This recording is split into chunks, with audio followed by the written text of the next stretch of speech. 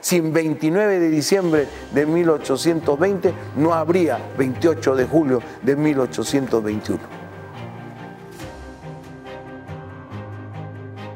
Primero fuimos una villa en 1535, después en 1537 fuimos una ciudad. Posteriormente Trujillo fue capital del corregimiento de Trujillo. Con las reformas borbónicas que establecen los reyes de España, se crearon las intendencias. Primero tuvimos al intendente Gil de Tahuada y en 1820 el virrey Pezuela nombra como interente interino a José Bernardo de Tagle y Portocarrero, marqués de Torretagle, que por el rey estaba designado a ocupar la Intendencia de La Paz, de lo que era el Alto Perú, lo que es hoy Bolivia. Pero Torretagle prefirió venirse a Trujillo, porque acá ya estaban fermentando las ideas libertarias, los días más importantes.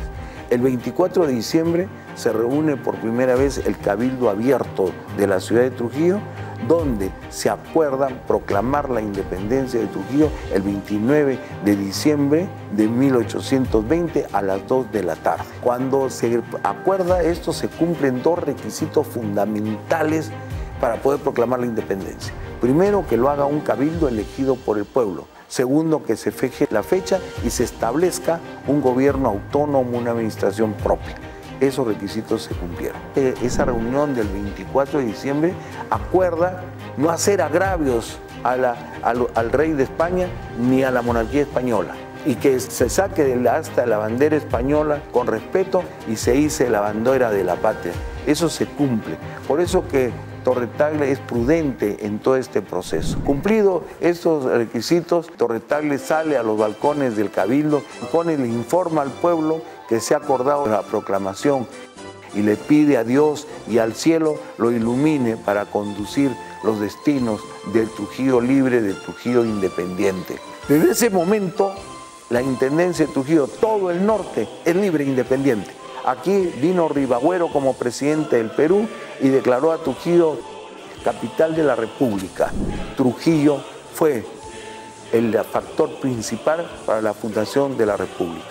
San Martín, en su lecho de moribundo, le dice a don Manuel Iturregui, le dice, si Trujillo no hubiese proclamado la independencia, yo y las tropas de la expedición libertadora regresábamos a Valparaíso.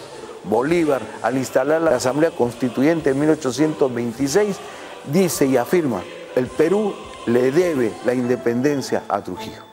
Entonces sintámonos los trujillanos orgullosos de ser la cuna de la libertad. Por eso en nuestra plaza de armas tenemos el monumento a la libertad. Por eso los trujillanos nos sentimos orgullosos de ser trujillanos y haber colaborado totalmente para la fundación de la República Peruana. Viva Trujillo, viva el 29 de diciembre.